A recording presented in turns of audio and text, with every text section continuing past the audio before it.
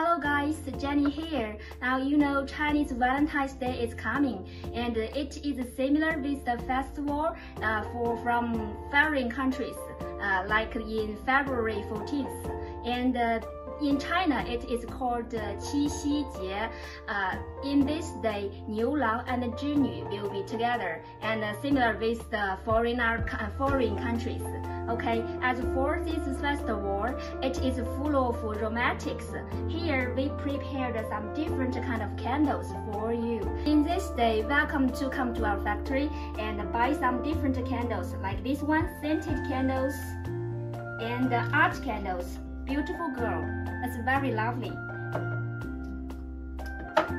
Okay, welcome to buy some candles.